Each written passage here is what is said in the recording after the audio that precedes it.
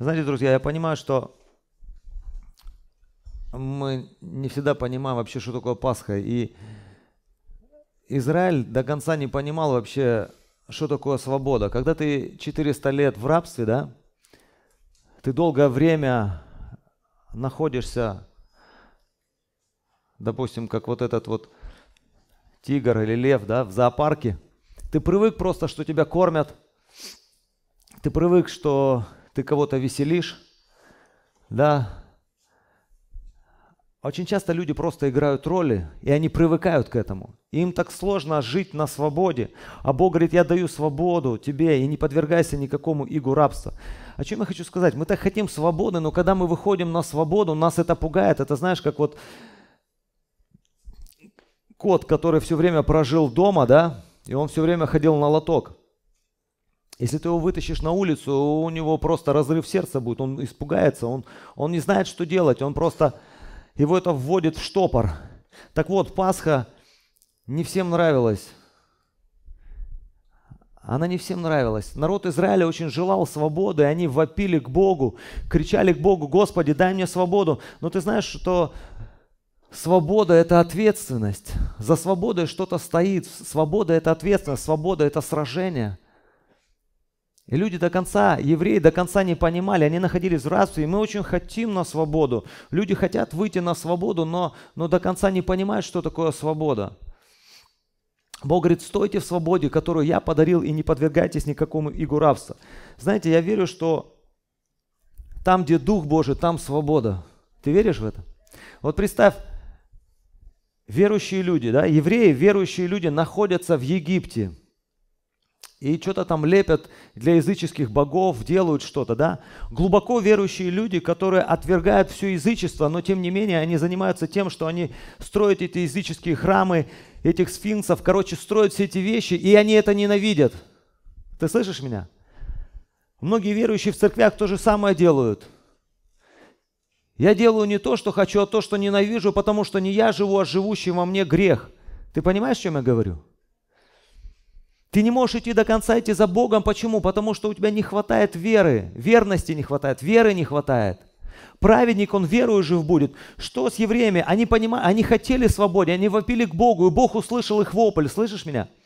Почему эти люди вместе не поднялись и просто не свергли фараона? Почему Богу пришлось привести пожилого старого человека, которому 80 лет, привести в Египет, и он чтобы что-то там делал? Как ты думаешь? Потому что он нашел верного, 80-летнего человека, который до этого был научен всей мудрости египетской, который прожил в Египте до 40 лет, он был мудрый. У него была мудрость египетская. У тебя может мудрость этого мира, ты знаешь, как зарабатывать, ты знаешь, как с клиентами разговаривать, ты знаешь, как что-то там в биткоин вложить, ты все эти вещи знаешь, ты научен мудрости египетской.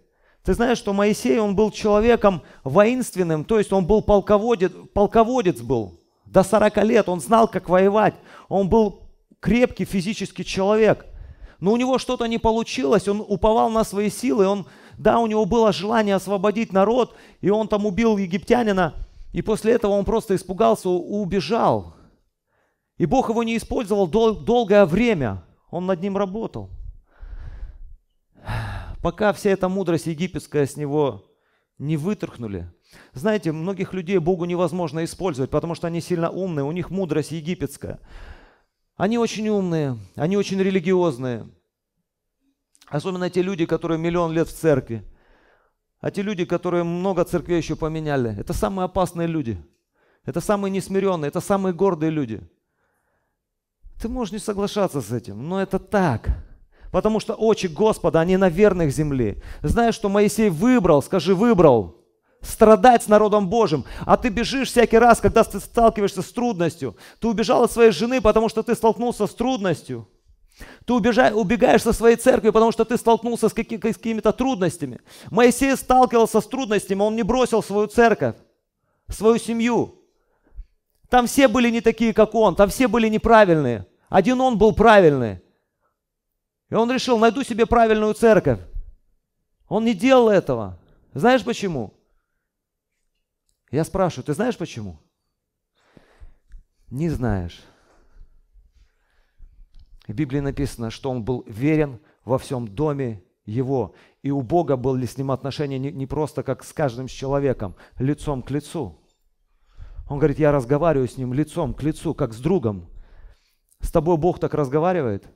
Он разговаривает так только с верными. И он дает задание верным. Почему? Потому что эти люди не будут уповать на плоть.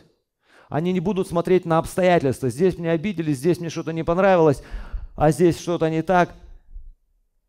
Друзья, Пасха родилась в сердце нашего Бога, великого Отца. Ты слышишь меня? И он поселил эту мечту в сердце Моисея. Моисей делал все. Скажи все то, что ему скажет отец. Сначала он пытался отказаться, Господи, пошли другого. Знаешь, почему он хотел послать другого? Или хоть говорил, пошли другого? Потому что он уже плохо разговаривал. Он перестал разговаривать, просто он плохо разговаривал. Я не знаю, он был косноязычный, заикался, что он там, что у него там не хватало. Но он плохо разговаривал. Ты слышишь меня? Есть такие, кто плохо разговаривает? Есть, да? Есть у кого, что, может, у тебя что-то с головой чуть-чуть не так? Я верю, что это те люди, которых хочет использовать Бог, у которых что-то не так. Ты слышишь меня?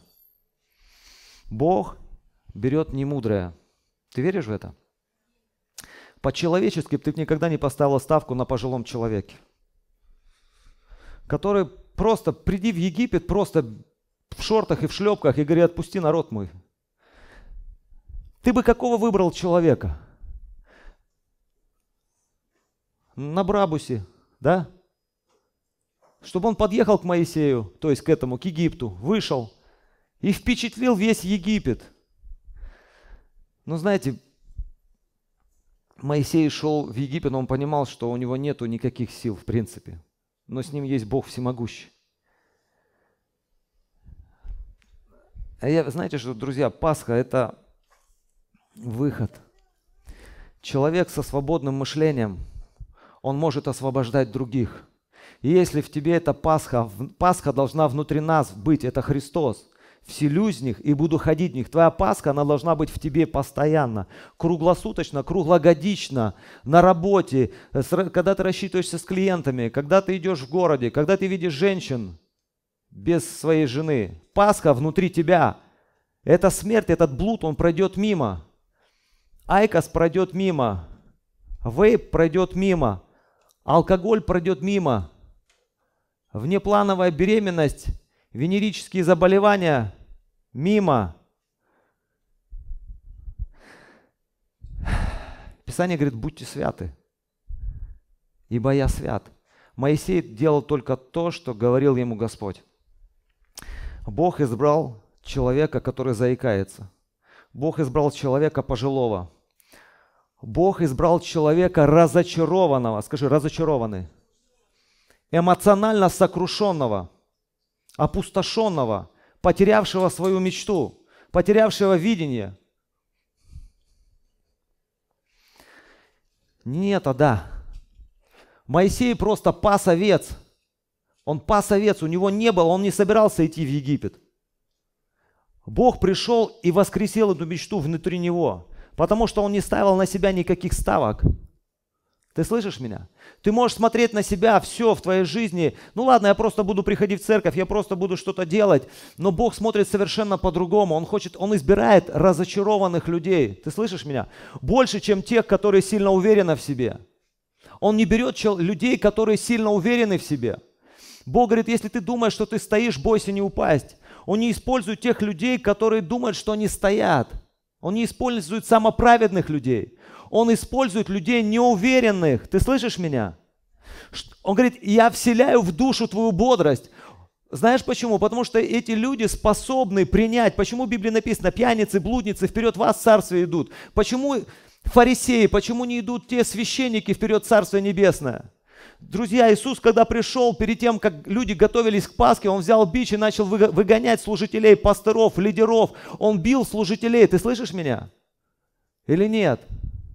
И он видел это у Отца Творящего. Он это делал как минимум дважды на Пасху. Ты слышишь меня? Но знаешь, что интересно? Нам очень важна форма, а Иисусу очень важно содержание. Он говорит, я не это имел в виду, это мой дом, а вы сделали его базаром. Ну так вот, смотрите, друзья, Моисей, он выбрал страдать. Иисус, он выбрал страдать. Ты слышишь меня? Многими скорбями надлежит войти во Царство Небесное. Бог услышал вопль, вопль народа своего.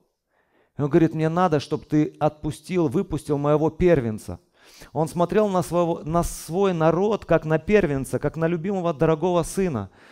Просто если у тебя есть ребенок, подумай, что ты за сына своего можешь сделать с фараоном.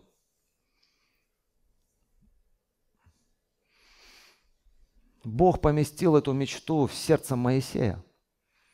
И когда Моисей пришел и говорит, ребята, мы будем выходить, они говорят, да, классно, здорово, мы тоже хотим выйти. Но что интересно, эти же люди били ему по рукам, то есть в плане они его останавливали. Почему? Потому что они уже настолько привыкли к рабству, они не готовы сражаться за свободу. За свободу нужно сражаться.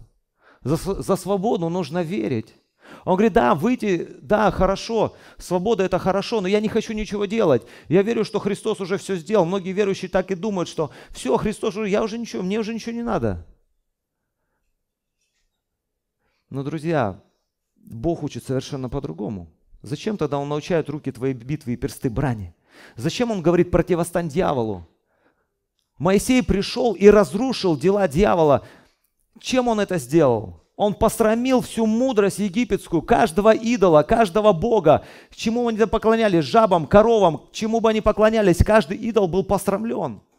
Я верю, друзья, что Бог хочет это сделать в, в твоей жизни, в твоем сердце. Посрамить каждого идола, включая мамону. Потому что невозможно служить и Богу, и мамоне. Простой человек пришел в Египет. Как ты думаешь, как его приняли вообще? Как на него смотрели? Как на него фараон смотрел? Да, люди говорят, мне надо прийти к заказчику, приехать на дорогой машине, чтобы впечатлить его. Но Моисей никого не впечатлял, он просто сказал, отпусти народ. И он не впечатлил фараона. Я не знаю твоего Бога, все, иди гуляй. Он просто посмотрел, как на пожилого сумасшедшего человека в начале. Но венчает не начало, венчает конец. У Моисея было долгое сражение, он мог разочароваться в каждом этапе. Что-то не получается, у колдунов нам тоже что-то получается, что-то не получается. Но он слышал Бога, он шел до конца. Претерпевающий до конца, он увенчает венец славы. Этот единственный человек, Моисей, он вывел народ. При том, что он заикался, при том, что ему было 80 лет, он даже не мог нормально высказать свою речь. Ему понадобился человек, Аарон – я хочу, чтобы ты посмотрел на себя немножко по-другому.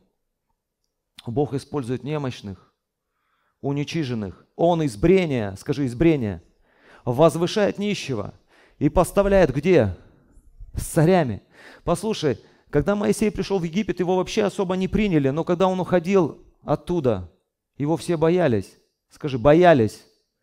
Он внушал страх, когда видели Моисея, люди боялись просто, египтяне боялись. И когда, говорит, попросите у египтян золото, они просто быстренько все золото. Вот что значит Пасха, ты должен выйти с Египта с золотом.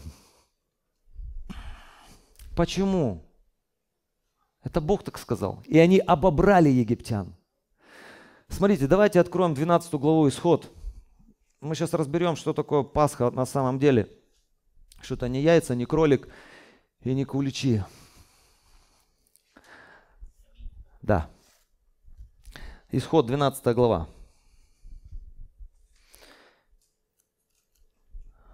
Бог сказал Моисею, чтобы он собрал народ и сказал им устав. А, про Пасху начал рассказывать, потому что до этого Пасхи не было. Пасха это выход, Песах, выход, переход, или то есть пройду мимо. Пройду мимо. Я просто вам своими словами, вы потом можете 12 главу прочитать, э, исход. Что происходило? Он говорит, возьмите по агнцу от козлов или от овец, да, возьмите однолетнего мужского пола без порока. Они брали, и говорит, пусть он у вас живет какое-то время. Это прообраз Христа. Когда Христос пришел, он был с людьми какое-то время, да, пусть он живет с вами там до 14 дня. Последних 4 дня возьмите его и исследуйте. То есть этого ягненка исследовали по сантиметру, просто по минутной. Исследовали, чтобы он максимально был без без порока. Это то, что говорил Бог сделать. Это то, что делали священники с Иисусом. Четыре дня перед распятием они полностью исследовали. И не нашли ничего. Ну так вот, он говорит, исследуйте, посмотрите. Если вот он здоровый, не кашляет, у него нету никакой проказы, вы можете его заколоть и помажьте косяки дверей. Помажьте косяки дверей кровью. И я увижу косяк, на косяках дверей кровь, и я пройду мимо. Если на твоих косяках дверей твоей жизни кровь Иисуса Христа, чтобы ему пройти мимо, дверь – это прообраз, прообраз Христа. Дверь, Иисус говорит, ну, это дверь. Дальше. Все эти вещи нужно было делать в доме по семейству. Если семейство будет ну, маленькое, пригласите еще кого-то. Это церковь. Говорит, соберитесь в этом доме, возьмите этого ягненка и испеките на огне, и не ешьте недопеченного. Возьмите внутренность него. Кишки мыли, обратно ложили. Важно было этого ягненка не, не расчленять. Целостность. Испеките его на огне исчислите, чтобы каждому досталось по куску мяса. Кому-то коре достанется, кому-то лопатка, кому-то еще что-то, да, кому-то вот печень, кому-то сердце. Каждый ел определенную часть. Это, это в церкви разные дары, это люди разные. Мы вкушаем каждую часть Христа, но Дух один. Понимаешь, о чем речь? Люди не могли есть от Христа, ну, все одинаковое. Не всем попадалось коре, не всем попадалось там голень или еще что-то, ели разные части, говорит, исчислите просто, ну, чтобы каждому достался по, по куску мяса. И говорит, не ешьте недопеченного. Это мясо должно было, было испечь на огне. Это страдание Христа. В Библии написано, огненного искушения не чуждайся.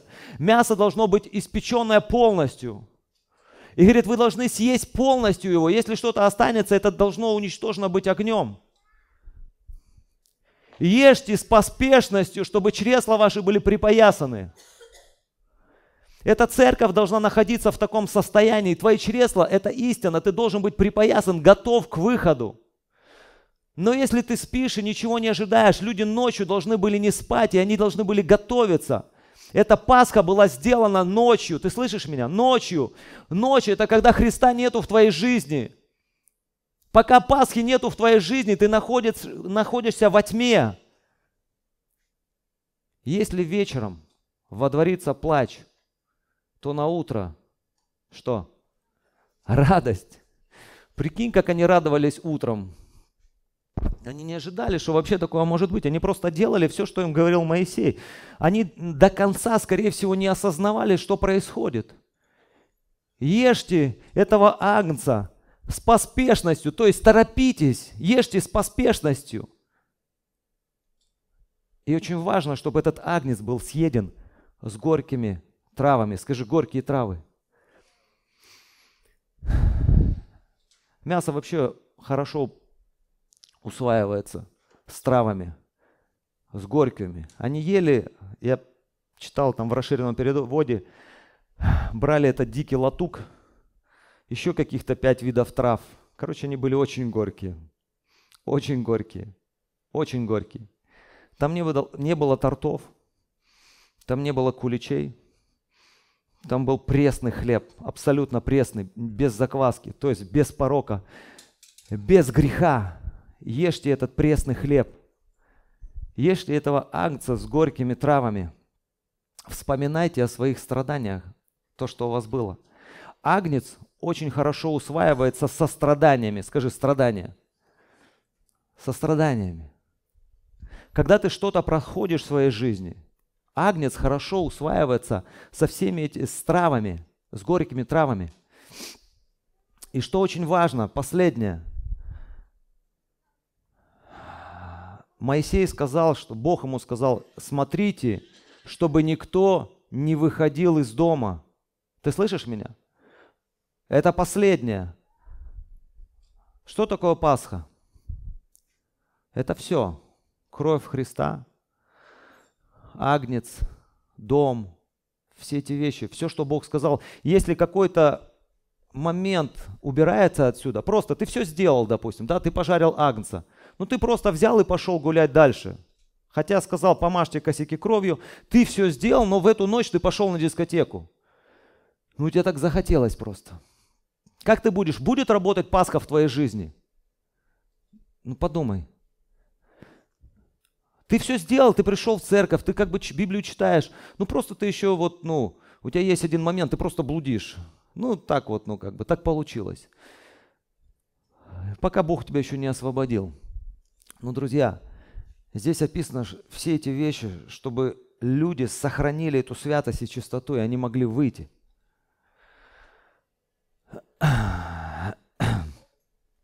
Праведник верою жив будет. Друзья, Пасха – это сражение с плотью. Это победа Христа. Ты слышишь меня?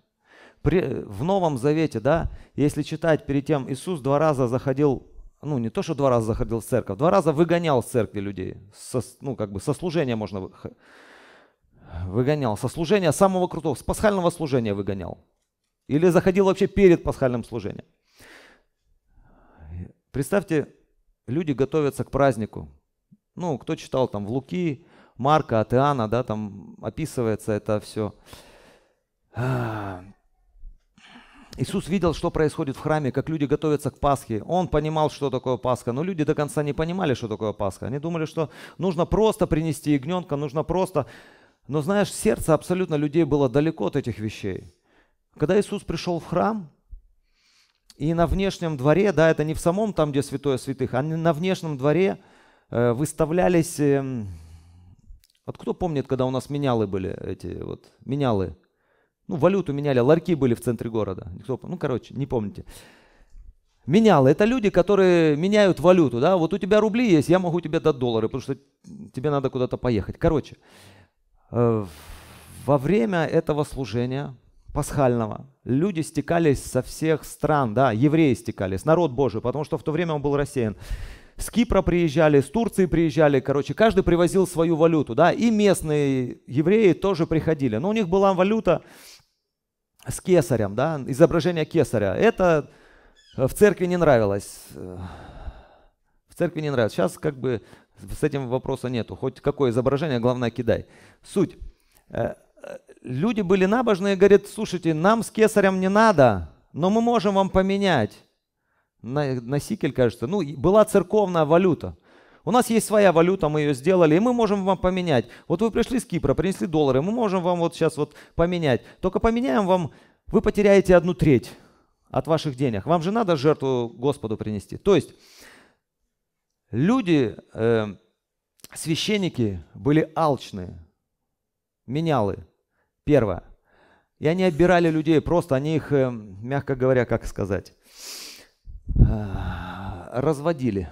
Они пользовались религиозными чувствами людей, и люди приносили деньги, они их меняли. Ну, в принципе, то, что делают, э, раньше делали в этих, в ларьках этих обменных. Но только это в церкви происходило. Только это перед служением происходило. Дальше что? Ты наменял этих немножко денег, потерял, посмотрел, что ты потерял одну треть, и тебе нужно купить еще голубя, купить э, овечку или еще кого-то купить там, да? И ты еще теряешь, потому что ты пришел издалека, ты не при, принес с собой овцу, потому что это тяжело, ты ехал э, не на поезде, без всяких удобств, просто, ну, хотя бы самому добраться. Ты добрался, слава богу, и тебе нужно купить что-то. И ты покупал это вещи в три дорого, этих голубей покупал, да, потому что так ты пришел поклониться Господу с искренним сердцем, но тебя обирали просто до гола. И это делали священники. И это делалось в храме. Иисус всю эту, всю эту тему, Он все это видел. И Он все понимал вообще подноготную изнутри. И когда Он заходил, представьте служение, да, когда Иисус заходит, это как, э, как это, как налоговая, да, как бы. Ну вот прикинь, Иисус заходит, молодой человек, 30 лет, заходит с хлыстом на служение. Все приготовились только ну, нормально поднять денег предвкушении, священники в предвкушении, да, как обычно. Сейчас мы вот народ собрался, сейчас мы как вот как поклонимся Господу, и когда они уйдут, мы хоть ну, пересчитаем, сколько у нас там да, денег. Радость же, радость Господи, сила моя. Э, священники очень верили, э, что финансы финансы – это Божье расположение. Если ты богат, значит Господь с тобой. И таким образом они зарабатывали деньги на верующих людях. Иисус все это видел. И когда он приходил, я думаю, ну первый раз пришел, он всех избил. Избил. Просто он бил их. Это в Новом Завете уже. И бил, он не смотрел, куда он их бил. Он просто взял кнут и бил и переворачивал столы. Читали об этом? И что интересно, он только делал то, что видел у Отца Творящего. Ты бы так никогда не сделал. Но Иисус так делал. Что церковь должна делать? Что ты должен со своим сердцем делать? Перевернуть все столы миновщиков. Взять кнут и выгнать продающих и покупающих. Поставить в своей жизни правильные приоритеты. Дом мой домом молитвы наречется. А у тебя там в голове просто, у тебя крутятся мысли, что ты нам заказчиком, какую ты там ему накинешь цену, что там биткоин, как он там, поднимается, не поднимается, где там, что, кого ты сейчас вот можешь охомутать, привлечь. Чем, чем твое сердце наполнено? Друзья, мы очень часто продаем Христа. Священники, они просто продавали веру людям, они продавали ее, продавали, наживались на этом. Но Иисус взял и просто их выгнал, говорит, ребята, это не то, что я имел в виду. Он просто выгнал продающих и покупающих и говорит, дом мой, домом молитвы наречется. Мой дом для молитвы, мой дом для поклонения мне. А вы сделали его. И что интересно, когда священники расстроились, и они говорят, а откуда у тебя такая власть? А у него была власть выгонять продающих и покупающих. Вот что значит Пасха. Пасха – это очищение, это выход, это свобода, это преображение. Но знаешь, что интересно? На Пасху происходит много хороших вещей. Моисею Бог сказал, что делайте Пасху в месяц Авива. Авива. Ну, в Новом Завете там месяц Нисан – Э, что, это за месяц? Когда растения только начинают пробиваться, то есть когда пшеница начинает пробиваться сквозь землю, эти свежие ростки, говорит, смотрите, ваша жизнь таким же образом, она только начинается. Говорит, помните, помните этот день, помните. То, что правильно сказали, не, не день рождения столько важен, а твоя встреча со Христом, когда ты рождаешься заново. Говорит, помните этот день и просто его постоянно празднуйте. Празднуйте этот месяц Авива месяц колосьев, да, как его там называют, месяц Нисан. Говорит, это очень важно для вас. Вспоминайте и просто празднуйте. И говорите детям своим, если не спросят, что это за праздник, а это тогда, когда Бог нас вывел. Послушай, если в твоей жизни Пасха, ты можешь идти через море, и Бог тебя будет вести в столбе облачном и огненном. Ты понимаешь? Когда в твоей жизни есть этот праздник, представь, люди были 400 лет э, в рабстве, из поколения в поколение, у них рабское мышление – они вышли с Египта, но Египет не вышел с них. Ты понимаешь?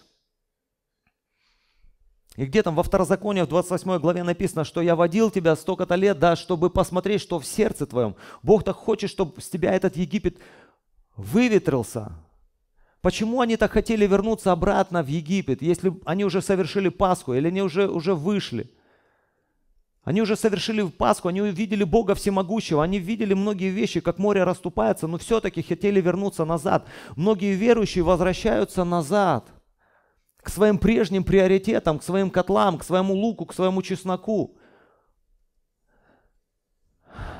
Потому что Пасха – это всегда выход, это всегда переход, это, это всегда движение вперед. Это всегда тебе нужно что-то отвоевывать. Ты слышишь меня? Когда люди вышли из рабства, и Бог говорит, берите землю. А как я могу брать землю, если я никогда, вообще как бы, я в рабстве всегда был, я никогда не воевал. Так Моисей тоже не воин, но когда в тебе Дух Христов, ты можешь взять то, что Бог для тебя предназначил. У Бога есть обетование для тебя. Но человек с рабским мышлением, он просто не вмещает эти вещи. Когда в твоей жизни нету этой Пасхи, нету этого перехода, у тебя нету вообще в мозгах, что ты можешь куда-то выйти, ты что можешь что-то сделать, что-то победить, что-то преодолеть. Почему? Потому что в тебе этот страх, а это не Пасха. Потому что в страхе есть мучение. Почему евреи хотели вернуться назад? Потому что страх. Они не знали, что делать дальше. Когда ты строишь отношения с Богом, ты видишь Его творящего, и ты двигаешься таким же образом. Ты слышишь меня? Пустыня не остановит тебя. Море не остановит тебя. Египтяне, которые бегут за тобою, обстоятельства, болезни, немощи, проклятия, которые бегут за тобою. Ты увидишь, как море поглотит их, когда ты пойдешь за Богом, когда Он будет вести тебя в столбе огненном и огненном. Дьявол не прикоснется к тебе. Ты слышишь меня? Но все, что тебе надо, иметь веру. Иметь веру и не смотреть на обстоятельства. Вот что значит Пасха. Вот что значит Пасха. Так. Ага. Еще один момент хотел сказать. Когда, этот, когда Иисус перед тем, как его распяли, да, он говорит, я хотел бы есть эту Пасху с вами до моего распятия, да, и много событий вообще происходит перед тем, как, как Иисусу, ну, как его, перед тем, как его распяли, да многие вещи начали происходить и вылазить. Перед Пасхой вообще многие вещи вылазят. Или росток вот такой зеленый. Вообще начинают деревья благоухать. Вы знаете, когда вот, ну, весна начинает все расцветать, все оживать, и хорошее, и плохое. Вот проходишь мимо акации, пахнет так хорошо. Проходишь мимо какой-то, вот проходил какое-то дерево желтое, начинает вонять. Ну так же и с людьми. В принципе, смотри, что я хотел сказать ученики Иисуса, они начали готовить Пасху. Говорит, скажи нам, Иисус, где нам Пасху приготовить? Ну вот человека встретите, он пойдет там по какой-то улице с кувшином, все, скажите, вот нам надо Пасху приготовить. Они начали готовить Пасху, да? Все приготовили. Но в, в это же самое время был другой ученик. Его звали Иуда, Искариот. И он тоже готовился к Пасхе. Но, но только по-другому. Но только по-другому. Он пытался заработать на этом празднике так же, как зарабатывали священники. Ты слышишь меня? Он точно так же пытался заработать на Иисусе. Приближался, так, 22 стих, ой, 22 глава Луки. «И вошел сатана в Иуду». Читайте вот э, третий стих. Да, многие верующие спрашивают, могут ли верующих быть бесы. Я спрашиваю, могут ли верующих быть бесы? Здесь написано, что сам сатана вошел в Иуду. Можно назвать Иуду верующим человеком? Ну не, он, наверное, не рожден свыше, да, как люди говорят. Может, он еще что-то. Слушайте, ну, Иуда – это апостол. Это даже не пастор, это тот, который был с Иисусом. Это Иисус его сам избрал. Сам сатана вошел в Иуду, ты слышишь меня? Как ты можешь сказать, может ли в тебя верующих бесы зайти? Да если ты открыл дверь для него, если ты пошел к первосвященникам и продал Христа, бесы войдут в тебя. Если продался религии, бесы могут войти в тебя. Да не, не может быть такого. Может. Хочешь, можешь не верить в это. Но в Иуду вошел сам сатана. Скажи, сатана. В Библии написано, сам сатана вошел в него. До этого Иуда просто заигрывал с бесами. Он заигрывал с деньгами, он, он воровал деньги у Иисуса. Почему? Он носил этот ящик и просто тихонечко подворовывал, все нормально. Но когда при, перед Пасхой он просто решил нормально заработать на Иисусе, потому что все уже. Но Иисус был верен Отцу своему до смерти, до смерти креста. Вот что значит Пасха, когда ты верный человек. Иуда был неверный в конце. Почему так получилось? Потому что в Библии написано, он был вор.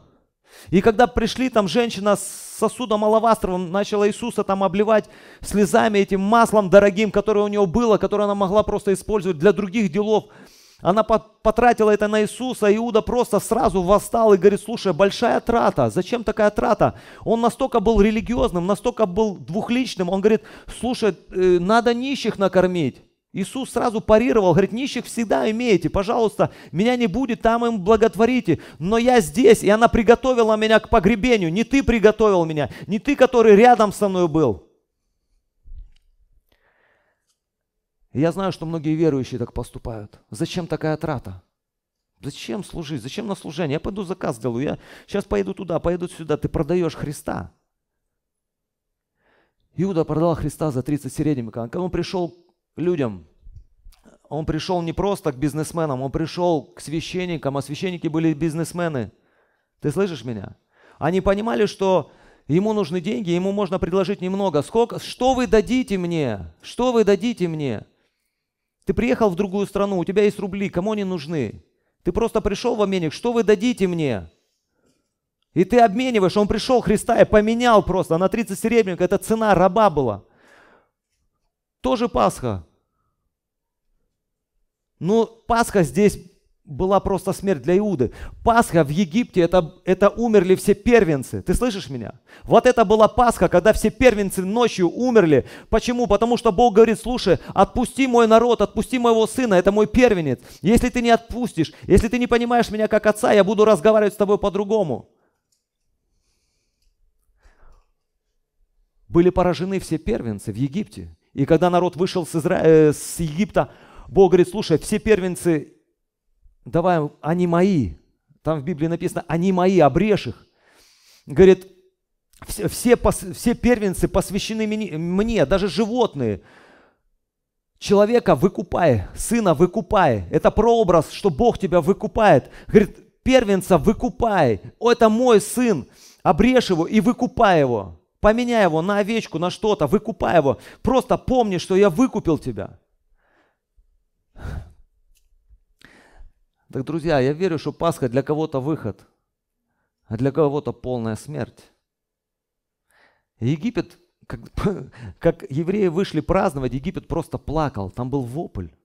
И они погнали, чтобы эти, этот израильский народ, это ты, когда ты бежишь из греха, дьявол бежит за тобою, и ты упираешься просто в обстоятельства какие-то. Денег нету, за квартиру платить нечего, с мужем что-то, да? Ты упираешься в какое-то море и думаешь, что все, да лучше было так, как было. Нет.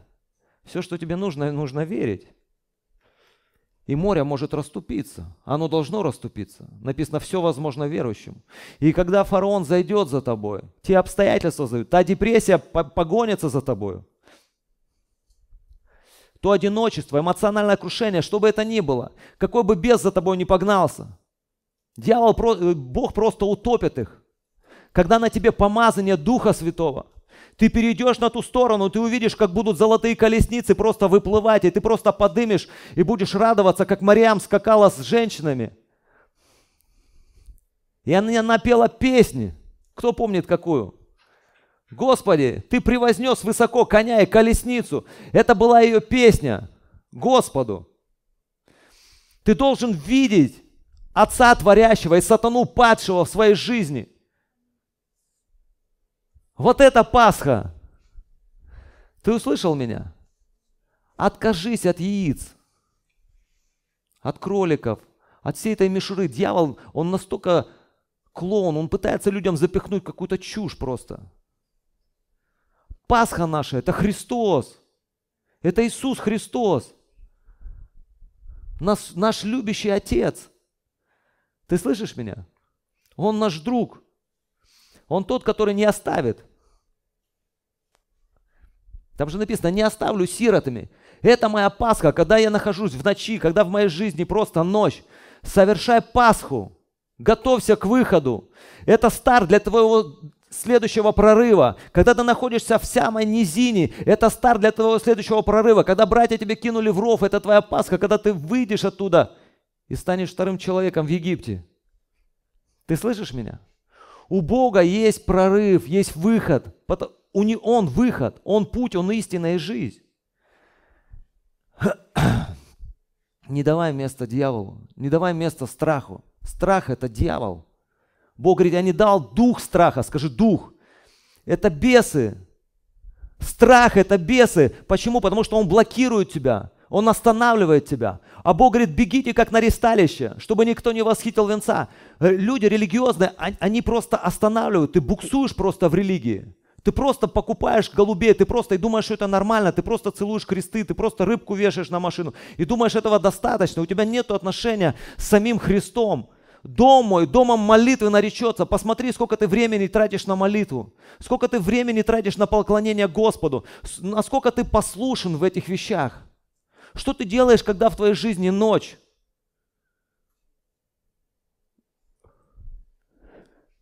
Ты сидишь и в депрессии и плачешь. Просто плачешь. Ученики, когда они сидели в тюрьме, кто там, Сила и Варнава, или кто там, да? Я думаю, что в каком-то смысле это была ночь в их жизни. Но они написано пели, воспели. И эта тюрьма, она начала сыпаться. В каком-то смысле вот это твоя Пасха, когда ты Христа не страх вперед идет тебя, а Христос. Если Он твой путь, Он истинная жизнь. Ты услышал что-то для себя? Халилю. А что ты услышал для себя? Что-то что про Иисуса, да? А что-то про Иуду услышал?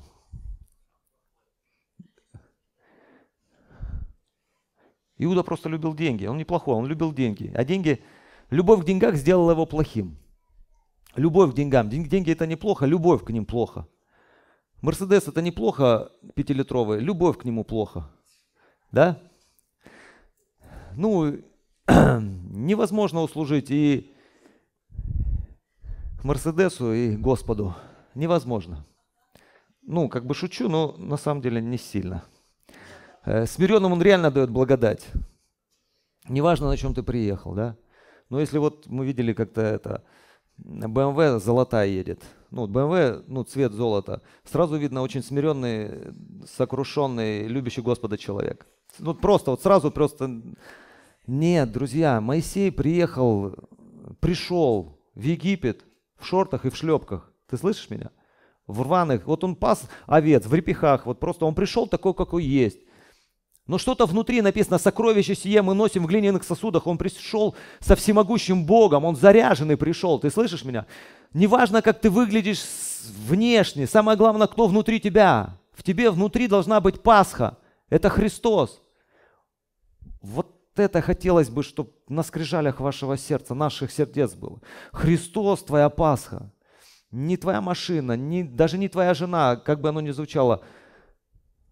Веришь в это? Да не будет иных богов, включая жену, мужа, машину. Все. Христос на первом месте, друзья, все от Него. Если у тебя со Христом все нормально, у тебя большая вероятность, что и с женой будет все нормально. Если с Христом плохо, у тебя жена будет плохая. Ну, как бы ты на нее так будешь смотреть, потому что у тебя нет любви к ней. Ты будешь видеть, что она толстая, ты будешь видеть, что она страшная. Ты... Ну, короче, много чего увидишь. Но когда Христос внутри тебя, ты будешь просто любить ее. Ты не будешь ее сравнивать ни с кем, потому что Христос внутри тебя, потому что у тебя те же самые чувствования. Понимаешь? Любовь, она вообще, ну, в каком-то смысле, ну не то, что слепая, она безумная. Она любит не потому, что э, ты красивый, да, ну, как бы, не потому, что ты умный, ну, потому что он любит, потому что он заплатил. Понимаешь?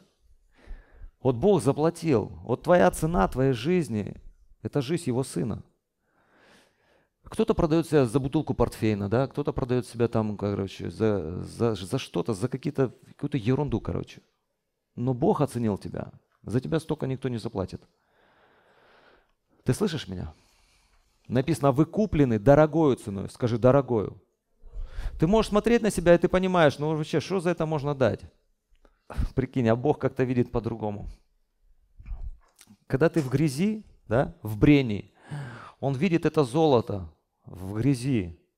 Он, и Он берет его, просто отмывает. Никто так не ценит, как Он, потому что Он видит, что внутри. Потому что внутри часть Него, а для Него это очень ценно. Почему Он так любил Моисея и ценил его? Почему Он ступался за Моисея всегда? Говорит, так потому что Он верен во всем доме моем. Он верен, говорит, как вы могли вообще против него там что-то упрекать его? Говорит, вы что не видите, что я с ним очень близко? Говорит, у вас не хватило, просто вы не понимаете, что на него вообще ничего плохого нельзя говорить. Он святой человек. Тем более вы не понимаете, что на что, на какие жертвы он пошел, что он оставил. Написано, он выбрал страдать. Говорит, а мне это так угодно. Ты знаешь, как Богу угодно, когда ты выбираешь страдать? Или не веришь в это? Богу угодно, когда ты выбираешь страдать. Ты становишься похож на Него, потому что Иисус выбрал, потому что Моисей выбрал. Аминь. Хорошо, давайте помолимся. Что-что? С народом, конечно. Ну не просто, ну, потому что ты там переел, короче. Ну не, я же не про это. Я, я же понимаю, что все поняли, короче. Но если ты наелся чего-то, у тебя живот болит, но это не страдание. Это, это просто переел. Это чревоугодие называется. Халилюя. Отец мой, превозносим Твое святое имя. Мы нуждаемся в Тебе, Отец мой.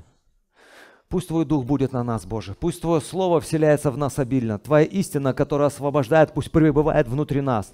Я молю Тебя, дай нам быть верными Тебе, Господи. Дай нам быть насаженными в Доме Божьем. Дай нам цвести, как пальма, и возвышаться, как кедры на Ливане, Боже. Потому что Ты сказал, очи Господа на верных земли. Господи, мы желаем, Боже, быть угодить Тебе, Господи, Отец, быть послушными Тебе, Боже. Как Ты был послушен Отцу до смерти, до смерти крестной, Боже. Дай нам научиться от Тебя, Ты кроток и смирен духом, Отец мой. Дай нам быть похожими на Тебя, Боже. Слава Тебе, Иисус. Пребывай внутри нас. Твой характер пусть будет внутри нас. Твои чувствования пусть будут внутри нас. Дай нам поступать так, как Ты, Господи. Дай нам быть Христовыми, Господи. Слава Тебе. Отец, Сын и Дух Святой. Аминь.